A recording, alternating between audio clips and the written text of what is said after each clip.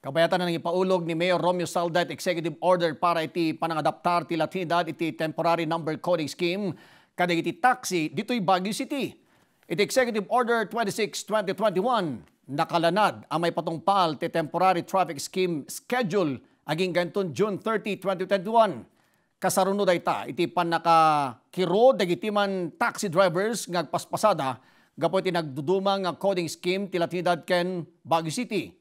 May palpalgipmet iti panangsurot da kadagiti minimum public health standards kas iti no face mask and no face shield, no ride policy.